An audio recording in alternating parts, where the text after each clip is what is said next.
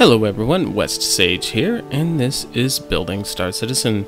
In this episode, we are building out the Banu Merchantman interior.